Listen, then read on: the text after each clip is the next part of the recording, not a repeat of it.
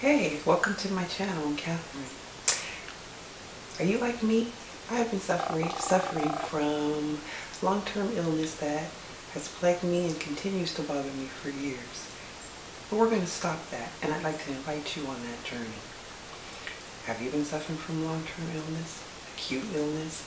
Does this current environment scare you and bother you? What can we do? Some of us have problems in healthcare. Some of us are afraid of health care. I happen to know we need both. We need a good doctor. We need good herbs and natural medicine to help us. And I'm learning, and I'd like you to come on this journey and learn with me. Inspire me. I hope to inspire you. Let me answer some of your questions. Maybe you can answer some of mine.